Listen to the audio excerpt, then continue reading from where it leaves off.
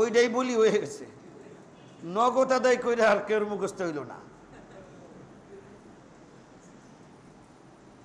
ও যুবকেরা, এখনও যারা বিয়া শাদী করো নাই, একটা পাক্কা নিয়ত করে বলা হতো চাইরে না বাকি রেহে বিয়া করুম না। নিয়ত করা যায় কি না? তোমার যা আছে তাই দিবে, নগদ দিবে। ঠিক কি না? যা আছে তাই দিবে, নগদ দিবে। এই দোকান বড় কত মাল আছে? এই যে এই দোকান হার্ডওয়্যারের দোকান না? লাখ লাখ টাকার মাল আছে না? বাহিতে দিলে কিন্তু আমি ব্যক্তি নিব যদি কয় যে টাকা পরে দিয়েন, তাহলে কয়টা নেবেন? তাহলে টাক বইরা দেও। যা আছে সব আমি ব্যবসা করে বেঁচে দিব কথা ঠিক কিনা আর যদি কয় নগদে নাও, তখন তো পকেটে আগে হাত দিব কয় টাকা আছে? আর যদি বাকিতে দেয় কোনো পকেটের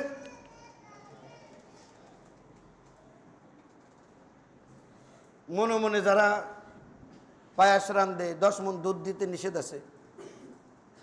মনে মনে পায়াস রান্ধতেছে দশ মন দুধ দে, এই চিনি বিশ মন দাও। মনে মনে কল্পনা করে দিতেছে। দুইশো মন দিতে অসুবিধা নাই। কিন্তু বাজারটা কি নাই না, দেও না দিই কয় সে দুধ দিতে পারো, কয় চিনি দিতে পারো।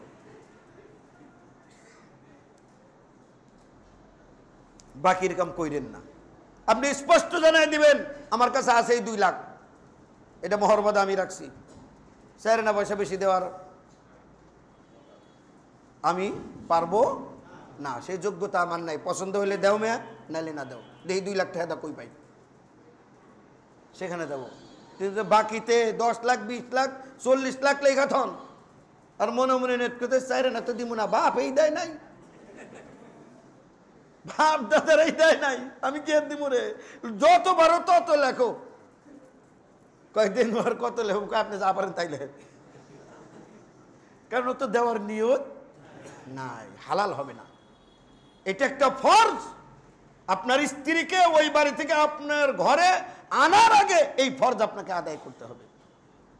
আর একটা ফরজ যদি আদায় হইতো, বহু বিবাহ কত আগে বন্ধ হয়ে যেত কথা ঠিক কিনা? বহু বিবাহ চলতেছে না। রিক্সা চালায় তিনটা, চারটা করে বিয়ে করবার লাগছে।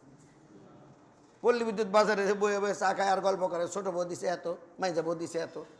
উনি খালি বয়ে বয়ে ঠ্যাঙ্গের উপর ঠ্যাং দেয় গল্প করে। তিন বউ তিন গার্মেন্টসে ধুয়ে দিছে। চা খাইতেছে আর গল্প করতেছে। মনে হয় দেশটাই ওর। প্রেসিডেন্টের মতো অবস্থা। এক বোর কাছ থেকে ও দিছে, পাঁচ হাজার ও দিছে, সাত হাজার। মাস বইরা কামাই করে আইনা ওরা খাওয়া হাতি পালবার লাগছে। নওয়াজবিল্লা কন এক মাসে বিয়ে করে আর এক মাসে সারান দেয় আসেন এরকম? খুব চলছে। এই এলাকায় তো আরও বেশি হয়।